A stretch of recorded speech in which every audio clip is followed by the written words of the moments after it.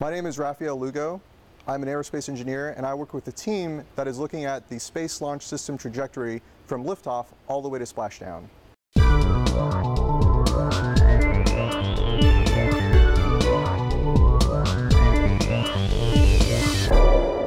The project I'm working on is looking at being able to simulate the trajectory of the Space Launch System for Exploration Mission 1 from liftoff to orbit around the moon all the way back to entry, descent, and landing using the heat shield for the Orion capsule.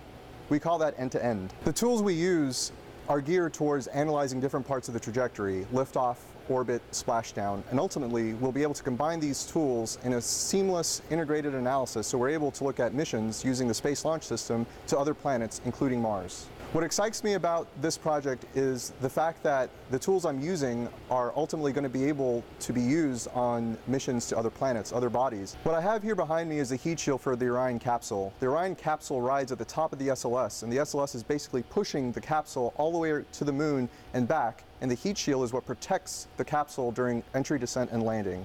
Join me as we journey to Mars.